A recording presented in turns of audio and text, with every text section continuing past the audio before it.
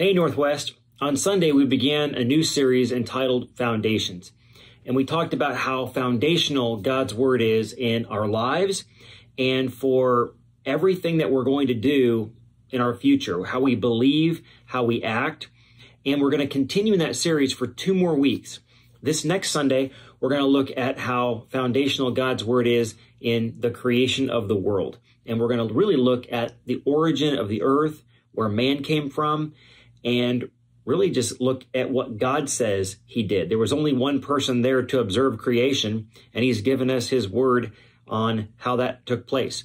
And then the following week, next week, next Sunday, not this Sunday, uh, Russ Miller is going to be coming, and he's going to be sharing really the science behind creation that really proves and backs up the creation account that we see in Genesis 1 through 11 all the way through uh, the flood and what happened after the flood. And we're excited about that. Really, he's going to be able to preach three different messages: one at eight, one at nine thirty, and one at eleven, all dealing with science that we have here today that is not contradicting the Bible. In fact, the Bible uh, backs up the science, and the science backs up the Bible because they're both true.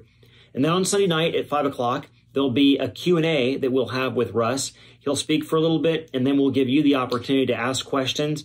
And maybe there's someone in your life who's had a hard time understanding some of these things, particularly those of you who have students. This is going to be really important because you're all the way down to third grader is going to be going to a science class where they're going to be taught that evolution is the fact and they just need to believe it and that's going to go all the way through college and even grad school.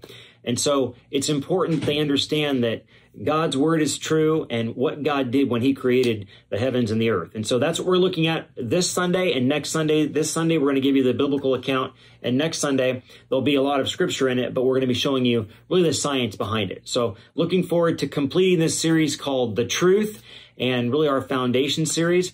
And then after that, we'll be getting right back into the book of John. Well, I love you guys. Hope you have a great day. God bless you. Bless you.